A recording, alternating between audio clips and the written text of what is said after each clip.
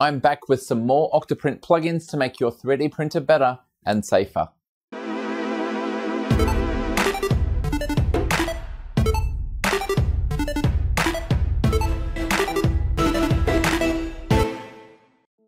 Octoprint is a very handy addition to 3D printing. We have a Raspberry Pi with special software designed to connect to the printer and control it wirelessly. I've made a guide to setting it up in the past, and I've also made a guide on some of the best plugins to extend its functionality. Today I'm covering some plugins suggested by viewers in the comments of that video, as well as some new plugins to make your 3D printing experience better as well as safer. To install any of these plugins, we're going to come up to the spanner in the top and then scroll down until we get to the plugin manager. From there, we can click get more and then we can search for whichever one we're after. On occasion, you'll find a plugin that's not in the repo and you can either paste in a URL or download a zip and then upload it back to your Octoprint instance. The first plugin we're going to install was highly recommended by a number of people in the comments, and it's called Print Time Genius. You've probably noticed that the print time estimate from your slicer and standard Octoprint is quite often out. But this plugin claims to learn from your printer over time to get it within 0.2% accuracy. We can search for it in the plugin manager and then click install. After the package has hopefully installed successfully, you'll commonly get a message telling you to restart and when you do so, Octoprint will restart with your new plugin loaded. Now installing a plugin won't necessarily add anything obvious to the screen, and in this instance we need to come back to the settings and then scroll down to our plugins and then we'll find our new plugin menu. I chose to leave everything on default, but now you know there are other options if you want to tweak the performance. For a test, I've sliced a simple cylinder that Simplify 3D is telling me will take 12 minutes. Now when I started in Octoprint and click print, I'm expecting some things to happen we notice there's a star here and the print time left is 1557. So let's check out if that's accurate. The preheating has finished and we can see that the print time has continued to count down despite the print not physically starting. We'll see how accurate it ends up being.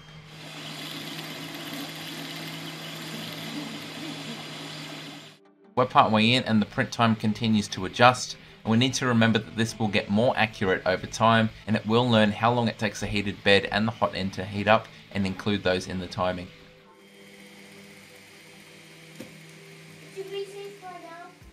So it's just finished and it took 24 and a half minutes. So what I'm going to do now is upload the exact same G-code with a different name and then we'll click and get a prediction and see if it gets closer to this. So we should now be able to click the star.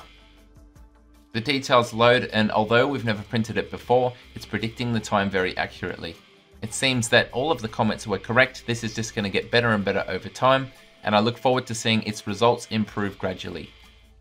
Next up, we have the Exclude Region plugin, and this one was also highly recommended.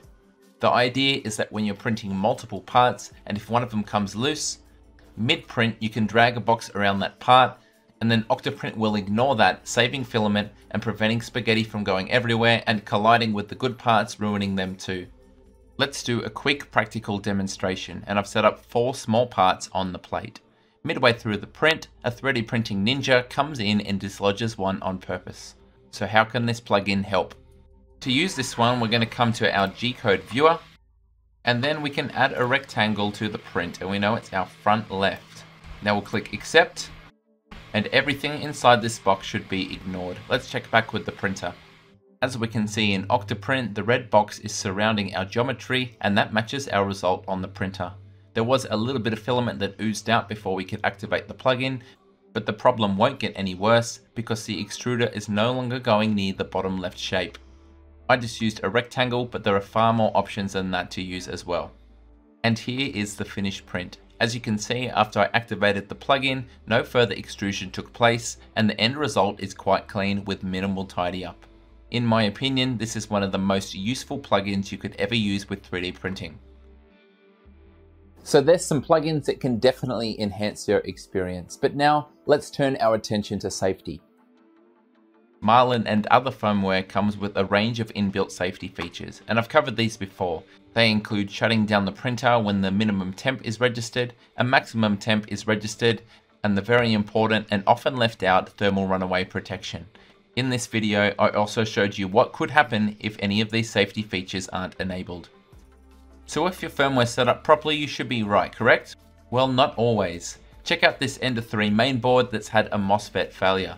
When we power it up, everything seems okay, but if you look very closely at the actual microcontroller, there's a crack across the top plastic surface. But the real damage is the MOSFET hidden underneath for the heated bed.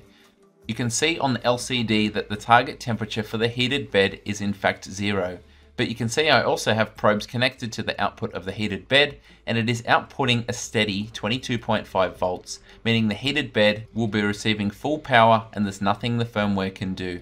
The only way to fix this situation is to cut the power entirely. Here's how our firmware normally works. Our power supply goes into the main board and that is used to control the hot end as well as the heated bed. But in our scenario, that's just not enough.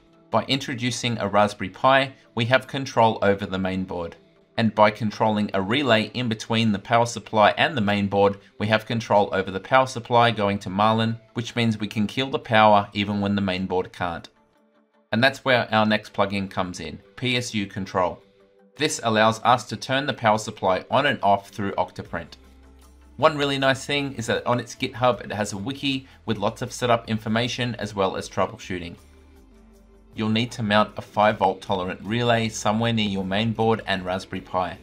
In this video I'm using the Ender 3 and a case that I designed in a previous video. It's got room for the Raspberry Pi, buck converter as well as a relay.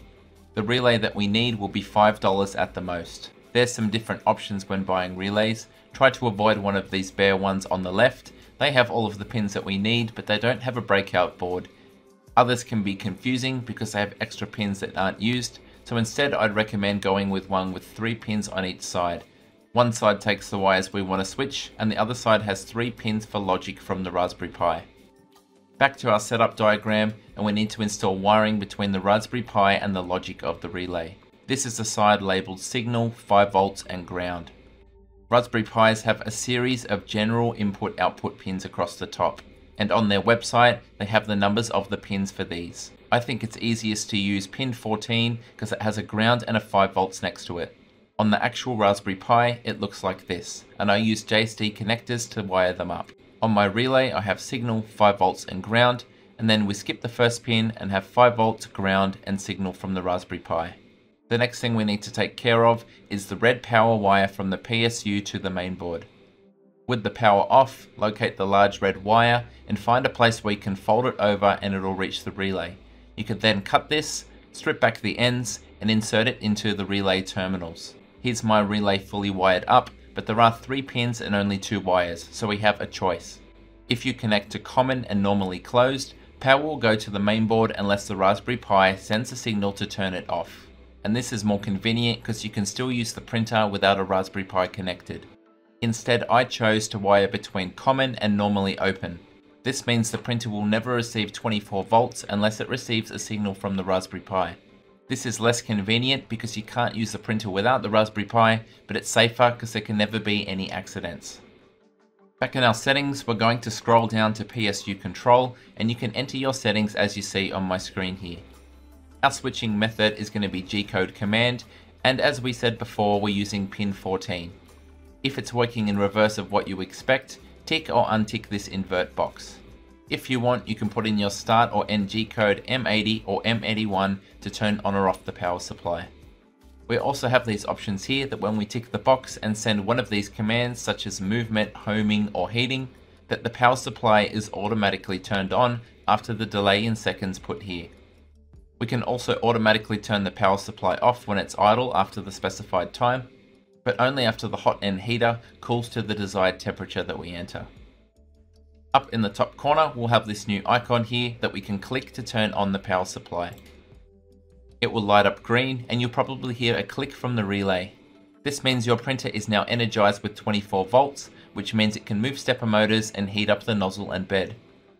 If I turn it off and then hit something like home, you can see that it automatically turns on the power supply to enable the stepper movement.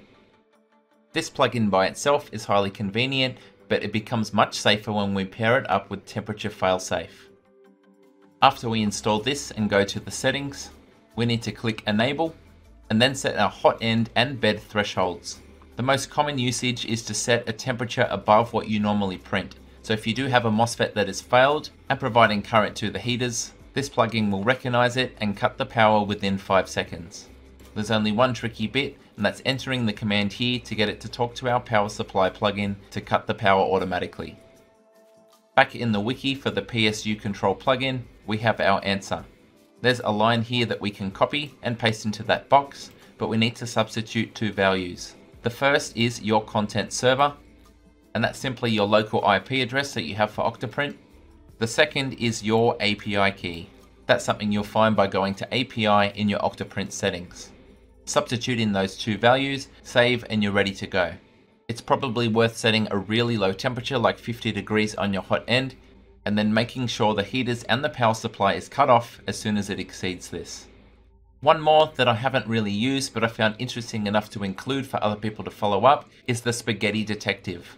It uses your webcam to monitor your prints, and if it thinks something is loose on the bed, it can send you an alert inviting you to choose to shut down your printer.